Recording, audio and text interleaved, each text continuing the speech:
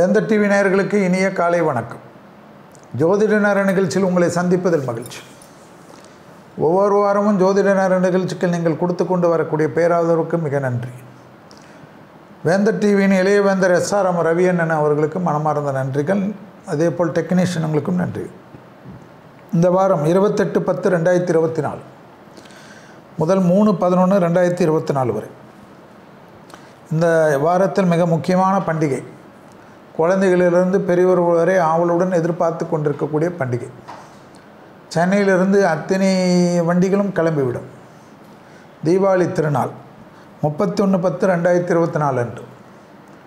எனவே வேந்த டிவி நேயர்களுக்கு அட்வான்ஸ் தீபாவளி நல்வாழ்த்துக்கு தீபாவளி திருநாளில் ஒவ்வொருத்தருடைய வாழ்க்கையிலும் அந்த நாளிலிருந்து நல்லது நடக்கிறதற்கு எல்லாம் வல்ல குருவான ஸ்ரீ ராகவேந்தரையும் அப்பன் பிள்ளையார்பட்டி கணபதியும் தாய் அங்காளம்மனையும் மனதார பிரார்த்திக்கின்றேன். உங்கள் ஒவ்வொருவருக்கும் இந்த தீபாவளி திருநாளிலிருந்து அதுக்கு முன்பாகவே நல்லது நடக்கட்டும். தீபாவளி பண்டிகையை சிறப்பாக கொண்டாடுவதற்கு அஷ்டலக்ஷ்மி கடாட்சமும் சந்தோஷமும் கிடைக்க வேண்டும் என்று மனதார பிரார்த்திக்கின்றேன். இந்த வாரம் இருபத்தெட்டு பத்து ரெண்டாயிரத்தி இருபத்தி நாலு மூன்று பதினொன்று ரெண்டாயிரத்தி இருபத்தி நாலு வரை உள்ள வாரம். இதில் முக்கியமாக அதாவது ஐப்பசி பதினொன்னிலிருந்து ஐப்பசி பதினேழு.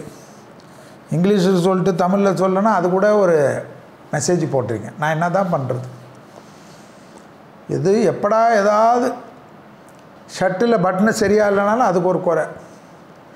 நிறைய பேருக்கு நான் கண்ணடிக்கிறேன் கண்ணடிக்கிறேன்னு சொல்லிகிட்டு இருக்காங்க. அதாவது ஸ்கூல் படிக்கக்கூடிய காலகட்டத்திலே எனக்கு ஒரு விபத்து ஏற்பட்ட அந்த இது இருக்குது அது தெய்வத்தினுடைய கருணையால் அதிலிருந்து மீண்டு அது அப்படியே ஒரு இதுவாக இருக்குது. நான் கண்ணடிக்கிறதுனால யாருக்காவது பாதிப்புனா எனக்கு தெரியாது. ஏன்னா வேறு கண்ணடிக்கிறது வேறு இது நரம்பு துடிப்பது என்பது வேறு. இது இயற்கையாகவே எனக்கு அந்த விபத்துக்கு அப்புறம் பதினாலாவது வயதிலிருந்து இருக்குது ஸோ அது வந்து அந்த காலகட்டத்தில் எடுக்கப்பட்ட மருத்துவத்தின் மூலியமாக பெரிதாகாமல் இதுவரைக்கும் இருக்கிறது என்று என் தாய்க்கும் என் கடவுளுக்கும் நன்றி. முதலில் பார்க்கக்கூடியது வந்து இப்பொழுது தீபாவளி திருநாள் பற்றி செய்திகள். நான் தீபாவளியில் கங்கா ஸ்நானம்னு சொல்கிறாங்களே அது ஏன் கங்கா ஸ்நானம்? அது ஏன் ஜென்ரலாக தீபாவளி ஸ்நானம் தானே சொல்லணும்? அப்படி கிடையாது. தீபாவளி அன்று நரகாசுரனை வதம் செய்ததனால் அன்று மட்டும் கங்கை எல்லா நீர்நிலைகளிலும் கங்கையாக வந்தால்னு அர்த்தம். அது எந்த ஊரில் பண்ணாலும் அமெரிக்காவில் இருந்தாலும் அது கங்கையாக நீங்கள் நினைத்து தான் ஸ்நானம் செய்ய வேண்டும். அதுதான் கங்கா ஸ்நானம். இதுக்குன்னே நிறைய பேர் என்ன பண்ணுறாங்க கங்கா வாட்டர் வாங்கி வச்சுக்கிறாங்க. அது உங்கள் விருப்பம். அது உங்கள் வசதி. பேக்கெட்டில் வச்சுக்கிறாங்க சொம்பில் வச்சுக்கிறாங்க காலையில் தீபாவளிக்கு இது மறக்காமல் இது இருக்கணும் சொல்லி வை அது வை இது வை. சிலவங்க குளிச்சுட்டு வந்து கூட தலையெல்லாம் தோட்டிட்டு வந்து ட்ரெஸ் எல்லாம் பார்த்து ஐயோ கங்கா ஸ்நானம் பண்ணலேன்னு ஓடி போய் திருப்பி அந்த கங்கையை தூத்தி நீங்கள் நீராடினாலே கங்கா ஸ்நானம் தான். இதுதான் அதனுடைய விளக்கம். கங்கை எல்லா இடத்துலையும் தீபாவளி என்று உத்தரவாதத்துடன் வருகிறாள் என்று அர்த்தம். அதன் பேர் தான் கங்கா ஸ்நானம். இந்த பெரும்பாலும் ஒருவரை ஒருவர் சந்திக்கிறச்ச எல்லாம் கங்கா ஸ்நானம் ஆச்சா தான் கேட்பாங்க. இந்த கங்கா ஸ்நானம் என்பது பிராமின் பாஷை மட்டும் இல்லை அந்த கங்கா குளியல் ஆய்ச்சான்றது தான் அர்த்தம். ஸோ அதுக்குன்னு அவ்வளோ மரியாதை அவ்வளோ மகத்துவம். அந்த அளவுக்கு அதனுடைய புனிதத்துக்காக தான் அந்த கங்கையை கொண்டு ஸ்நானம் ஆச்சான்னு சொல்கிறோம் அதே போல் நகர நான் ஏற்கனவே சொன்னது தான் சகர நீர்நிலைகளிலும் கங்கை வருவதாக ஐதீகம். எந்த இதுவாக இருந்தாலும் கார்பரேஷன் தண்ணியாக இருக்கட்டும் உங்கள் ஓவர் ஹெட் டேங்காக இருக்கட்டும் நீங்கள் வாங்குகிற பிஸ்லரி வாட்டராக இருக்கட்டும் அன்னைக்கு வந்து அதனுடைய பொருள் கங்கை உன்னிடத்தில் வருகிறாள் புரியுதா? அமெரிக்காவில் இருந்தாலும் சரி. நீங்கள் வந்து நிலவில் போய் உட்காந்துருக்கவங்களுக்கு கூட அன்றைக்கி அது கங்கை தான். நம்மளுடைய ஐதீகம் அப்படி. நம்மளுடைய சம்பிரதாயம் அப்படி. அது நம்புகிறேன் நான் நம்ப மாட்டேன் அதுக்கு ஒரு சிரிப்பு அதெல்லாம் உங்கள் இஷ்டம். எங்கள் நம்பிக்கை? எங்கள் நம்பிக்கை அதுதான். இல்லாத பாட்டி வடை சுட்டு இருந்ததுன்னு சொன்னால் நம்பணும்ல. அதுபோல் இது கங்கை ஸ்நானம் என்பது எங்களுடைய நம்பிக்கை. அந்த நம்பிக்கைக்கு எந்த ஒரு இடத்தில் நீராடினாலும் கங்கை நதியில் நீராடிய பலனும் லக்ஷ்மி தேவி கடாட்சமும் அனைவருக்கும் கிடைக்கும் என்பதுதான் சமய நூல்களில் தெரிவிக்கிருக்கிறாங்க நம்ம முன்னோர்கள் எவ்வளோ பெரிய விஷயம்? எல்லாத்துலேயும் எழுதி வச்சது தான் நம்மெல்லாம் காப்பி அடிக்கிறது தான் எல்லா ஜோசியரும். நான் பெரிய ஆள் நான் புது டெக்னிக்கு என்னை மீறி யாரும் கிடையாது. என் டெக்னிக் யாருமே இல்லை. நான் தான் பேடண்ட் ரைட் ஹோல்டர் எல்லாம் திருநது தான் அதில் ஒரு கௌரவம். நம்ம முன்னோர்கள் சொன்னது தான் சாப்பாடுலேருந்து சமையல்லேருந்து எல்லாமே. அந்த காலத்தில் இருந்த குர்தா தான் அந்த காலத்தில் இருந்த அனார்கலி ட்ரெஸ்ஸு தான் இப்போ திருப்பி ஃபேஷன் ஆகிட்டு வருது. ஸோ என்ன காப்பிரைட் ஓனர் எங்கேயோ இருக்காங்க அறுபது வருஷத்துக்கு முன்னாடி. அவங்களாம் அதெல்லாம் எழுதி வைக்கல. அவங்களாம் பேடண்ட் போட்டுக்கல. மஞ்சளை கண்டுபிடிச்சது நம்ம ஆள். ஆனால் அமெரிக்காக்காரன் பேடண்ட் போட்டு வச்சுருக்கான் பார். ஆனால் நம்ம ஆளுக்கு நல்ல விஷயங்களெல்லாம் பேடண்ட்டை போட்டு தனதாக்கி அதை ஒரு வியாபாரமாக்காமல் நல்ல விஷயங்கள் எல்லாம் இந்த உலகத்தில் இருக்கக்கூடிய எல்லோருக்கும் கிடைக்க வேண்டும் என்ற பெரிய ம பரந்த மனப்பான்மையுடன் வாழ்ந்தவர்கள் தான் நம் முன்னோர்கள். அதனால தான் நிறைய நல்ல விஷயம்.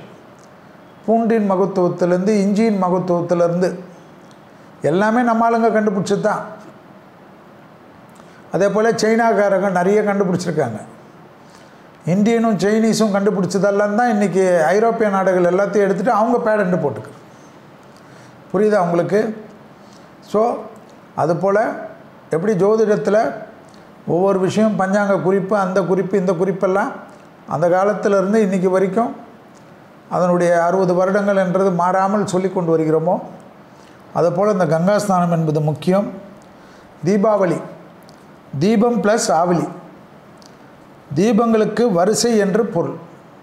தீபங்களின் வரிசை என்பது பொருள். புறவழி ஏற்ற உள்வழி பெறுவதே தீபாவளியுடைய மகத்துவம். அதனால் ஒவ்வொரு ஆண்டும் ஐப்பசி மாதம். அமாவாசைக்கு முன்னாடின்னு இப்போ ஞாபகத்தில் வச்சுக்கோங்க. அது வந்து அவ்வளோ பிரபலம். சதுர்தசி திதி. இதுதான் மேட்ரு அமாவாசைக்கு முன்னாடி சதுர்தசி. அந்த சதுர்தசி திதியில் அதுக்கு தான் அதுக்கு பேர் வந்து நாக சதுர்தசி ஸ்நானம்னு பேர். புரியுதா உங்களுக்கு? அந்த நரக சதுர்தசின்னு இருக்குது அதுக்கு. அந்த நரக சதுர்தசி ஸ்தானம்ன்றது இப்படியும் சொல்லுவாங்க அப்படியும் சொல்லுவாங்க. உங்களுக்கு வேண்டிய இதில் வச்சுக்கோங்க. காலையில் அதிகாலையில். அதிகாலை என்பது எப்போவுமே ஞாபகம் வச்சுங்க நான் சொல்கிறது மூன்றைலேருந்து அஞ்சு மணி இல்லை மூணுலேருந்து அஞ்சு மணி. இந்த நேரத்தில் எண்ணெய் வைத்து குளியல் பண்ணுறது தான் நல்லெண்ணெய். எண்ணெயில் எல்லா எண்ணெயும் இருக்கும். ஆனால் தீபாவளிக்கு மட்டும் நல்லெண்ணெயை சூடு பண்ணி கூட வச்சுக்கோங்க. சளியெல்லாம் பிடிச்சா. ஆனால் அது ரொம்ப முக்கியம். செல்வி சொல்லிட்டார் பிடிச்சிட்டு எனக்கு சைனஸ் இருக்குதுன்னு எனக்கு மெசேஜ் போட்டிங்கன்னா நான் என்ன பண்ணுறேன் அதனால் நல்லெண்ணெய் ஸ்நானம் செய்வது. அதில் என்னன்னா இந்த தீபத் திருவாளியில் தீபத் திருநாளில் சுடு தண்ணியில் குளிக்கிறது ரொம்ப விசேஷம். ஏன்னா அது வந்து அந்த ஐதீகத்திலே இருக்குது பிரம்ம முகூர்த்த நேரத்தில் சுடு தண்ணியில் கங்காதேவியும் சீக்காவில் வாயு பகவானும் வாசம் செய்வதாக சாஸ்திரங்கள் சொல்லுது. எப்படி? எப்படி கொண்டு போகிறாங்க பாருங்கள் அதுதான் அதனுடைய முக்கியம். அதில் அந்த மூணு மணிலேருந்து நாலரை தான் அஞ்சு மணிக்குள்ளேன்னு வச்சுக்கோங்க. அந்த எண்ணெய் தேய்த்து சீக்காயில் போட்டு வெந்நீரில் குளிக்கணும். குளிக்கிறது ரொம்ப பிரபலமாகும். உங்களுக்கு ஒரு வருடத்துக்கு இருக்கக்கூடிய ஏதாவது தோஷம் இருந்தாலும் அன்னைக்கு நீங்கள் பிரம்ம முகூர்த்தத்தில் பண்ணுறதுனால அது விசேஷமாயிடும். டக்குன்னு போயிட்டு பத்து நிமிஷம் தலையில் தேய்ச்சா போதும். உங்களுக்கு ரொம்ப நேரம் வச்சு இப்போ நோயெல்லாம் வந்ததுன்னா பயப்படாதீங்க. டக்குன்னு சீக்கிரம் இல்லை எனக்கு ஒன்றும் ஆகாதுன்னா நல்லா தேய்ச்சி ஒரு அரை ஹவர் வச்சுட்டு கூட குளிங்க. குளிச்சுட்டு கண்டிப்பாக இந்த வெடி வைக்கிறது வந்து ரொம்ப முக்கியம். வெடி வைக்காமல் விட்றாதீங்க தீபாவளிக்கு மட்டும்தான் எல்லா சட்டத்திட்டமும் அது இந்து பண்டிகைகளுக்கு மட்டும்தான் சட்டத்திட்டம் சட்டத்திட்டமாக வரும். இப்போ இஸ்ரேல் விட்டுன்னு இருக்கிற போர் ஈரான் விட்டுன்னுருக்கிற போர் இந்த ராக்கெட்லாம் நாட்டில் தூய்மைப்படுத்தும். மாசு இல்லாத உலகத்தை கொண்டு வந்துடும் புரியல? பிளாஸ்டிக்கை உலகம் ஃபுல்லாக போட்டு கடல் ஃபுல்லாக போட்டு பிளாஸ்டிக் ஃபுல்லாக மீன் வயிற்றுலலாம் பிளாஸ்டிக் தான். ஒன்று ஒன்று பார்க்குறீங்கல்ல ஆமெல்லாம் பிளாஸ்டிக் உள்ளே மாட்டிக்கிட்டு முழிக்குது. வெளியில் வர தெரியாமல் இந்த பாவிகளாக உங்களுக்கெல்லாம் என்ன கருதிக்கிட்டா போக போகிறீங்கன்னு எல்லார் ஜீவராசியும் கெடுத்துட்டானுங்க. பொல்யூஷன் ஆனால் இந்துக்கள் பண்டிகை ஏதோ அது கொண்டாடினாங்களோ அதில் மட்டும் வந்துடுவாங்க அதில் எல்லா கோர்ட்டும் உள்ளே வரும். அது எதுக்கு நமக்கு? உடனே அது ஒரு கண்டம்ட்டுன்னுவீங்க அதில் வேறு டைமிங் பாருங்கள் நமக்கு மட்டும். காலையில் ஒரு அவர் அதுவும் மனுஷன் ஏந்து ஏதோ கோயில்கள் போகிற நேரம் ஈவினிங் ஒரு நேரம் ஒரு மணி நேரம். குழந்தைங்க பட்டாசெல்லாம் பார்த்துக்கணும். எல்லா இடத்துலையும் எல்லா விசேஷங்களுக்கும் பட்டாசு உண்டு. சந்தோஷமாக கொண்டாடுங்க. கண்டிப்பாக அந்த ஒரு மணி நேரத்துலேயாவது எதாவது வெடிங்க. ஒரே ஒரு ஊசி வெடியாவது வெடிச்சிடுங்க ஏன்னா அந்த வெடின்றது ரொம்ப விசேஷம். அந்த கேரளா சைடெல்லாம் வெடி வழிபாடே இருக்குது இறைவனுக்கு வெளி வழிபாடுன்றது ஒரு முக்கியம். நம்மளுடைய மனதார பிரார்த்தனைகள் நமக்கு இருக்கக்கூடிய டிஸ்டி நமக்கு இருக்கக்கூடிய சங்கடம் காலையில் குளிச்சிடுறீங்கல்ல குளிச்சுட்டு வந்து சாமி ரூமில் ஒரு விளக்கேற்றிட்டு அப்படியே போய் வாசலில் ஒரு வெடி வெளியே ஏற்றுருங்க யாரும் கேட்க மாட்டாங்க. ஏன்னா அந்த நேரம்லாம் வெடிக்கலாம். சந்தோஷமாக வெடிங்க. நாய் மற்ற வளர்ப்பு பிராணிங்க பக்கத்தில் இருந்தால் கொஞ்சம் அதுக்கேற்ற மாதிரி பார்த்துக்குங்க. ஏன்னா அதுங்களாம் பயப்படும். அதுக்கு தான் அது எல்லா இடத்துலையும் இருக்குது ஆனால் அந்த ஒரு நாள் தானே நம்ம பண்ண போகிறோம் அதுங்களும் எக்ஸ்கியூஸ் குத்துக்கும். ஸோ இதெல்லாம் ரொம்ப முக்கியம். வெடி வைக்காத தீபாவளி வேலைக்கு ஆகாது. நான் ஃபாரினில் இருக்கிறேன்னா என்ன பண்ண முடியும்? உங்கள் சார்பாக யாரையாவது இந்தியாவில் வைக்க சொல்லுங்கள் அதுதான் முக்கியம். ஏன்னா உங்களுடைய பணத்தில் அந்த வெடி வழிபாடு செய்யுங்க.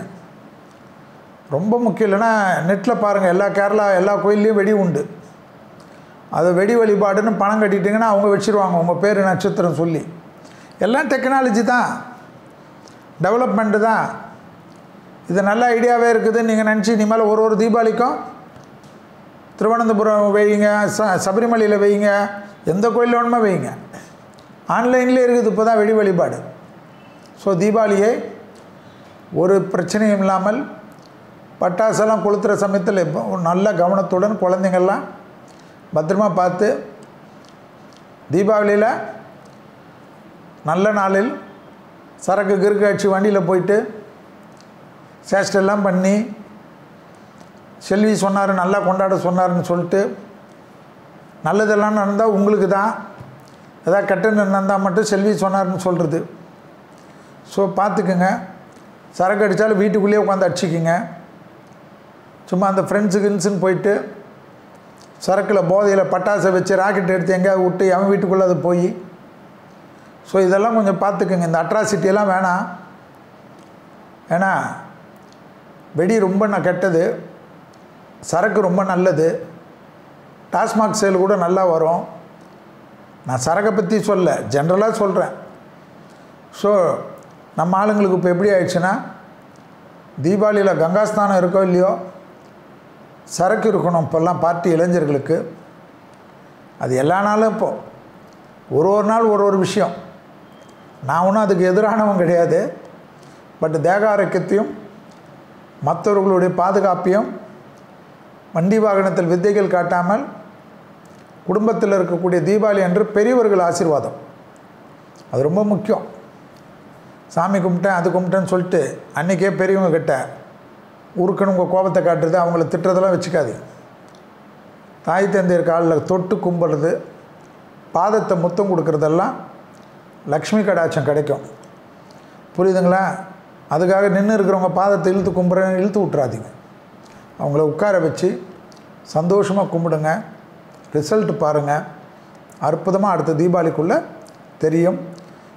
வெந்த டிவி நேயர்களுக்கு அனைவருக்கும் உங்களை சார்ந்தவர்களுக்கும் இனிய தீபாவளி அட்வான்ஸ் நல்வாழ்த்துக்களை தெரிவித்துக் கொள்கிறேன்.